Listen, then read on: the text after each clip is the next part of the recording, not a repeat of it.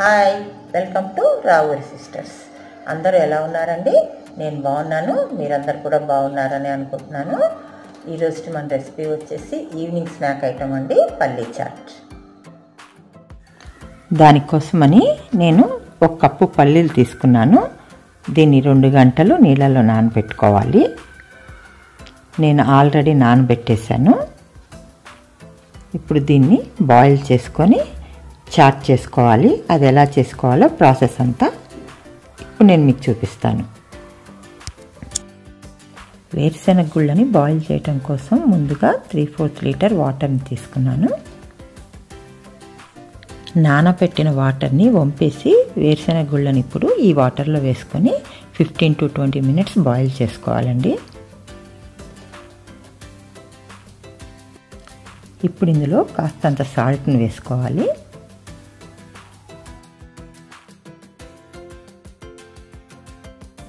Fifteen minutes దాటిపోయాయి. ఇప్పుడు ఒకసారి ఆ ఉడికినీయలేవో చెక్ చేసుకుందాము. అలా చేత్తో పట్టుకొని నొక్కితే ఇలా మెత్తబడిపోతే అది ఉడికిపోయినట్టు అండి ఇప్పుడు చూడండి అది పూర్తిగా ఉడికిపోయింది. ఇంకా స్టవ్ ఆఫ్ చేసుకొని నీళ్ళన్నిటిని డ్రైన్ చేసేసుకోవాలి. స్ట్రైనర్లో వేసుకొని వాటర్ అంతటిని తీసేసాను. ఇప్పుడు ఒక ప్యాన్ని స్టవ్ మీద పెట్టుకొని అందులో కాస్తంత బటర్ని వేసుకోవాలి. బటర్ కరిగిన తర్వాత అందులో ఒక పచ్చిమిరపకాయని ముక్కలుగా కట్ చేసుకొని వేస్తున్నాను. ఇంకా టూ స్పూన్స్ ఉల్లిపాయ ముక్కలను వేస్తున్నాను. వీటిని లైట్గా ఫ్రై చేసుకోవాలి. మరి ఎక్కువగా ఫ్రై చేసుకోకూడదు.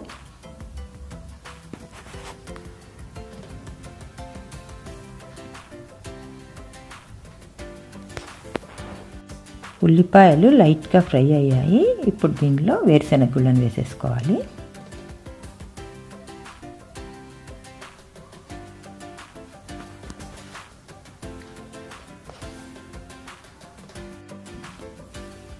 ఇప్పుడు దీనికి ఒక స్పూన్ చాట్ మసాలా అంటే చిన్న టీ స్పూన్ అండి.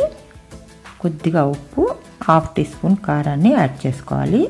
ఉప్పు మనం ఆల్రెడీ కొంచెం యాడ్ చేసుకున్నాం కదా అందుకని కొంచెం చూసుకొని వేసుకోవాలి.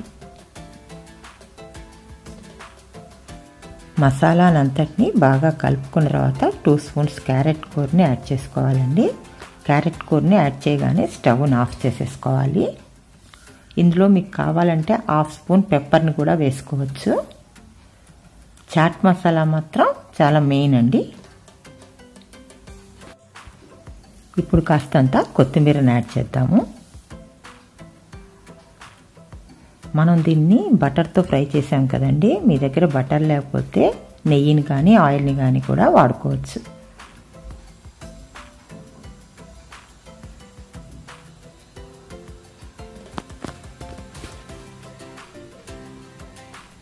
హాఫ్ చెక్క నిమ్మకాయ రసాన్ని కూడా పిండుకోవాలి.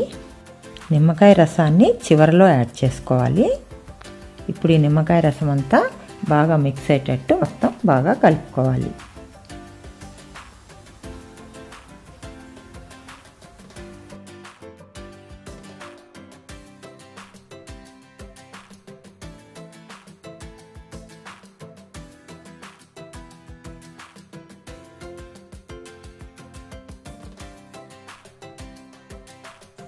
ఇదేనండి మన పల్లి చాట్. ఎలా ఉంది?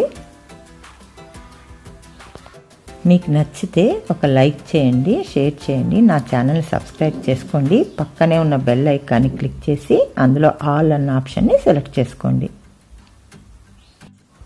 వీటిని ఇలాగైనా తినేసేయచ్చు లేకపోతే ఉల్లిపాయ ముక్కలు టమాటా ముక్కలు కొత్తిమీర మిక్స్ చేసుకొనైనా తినచ్చు.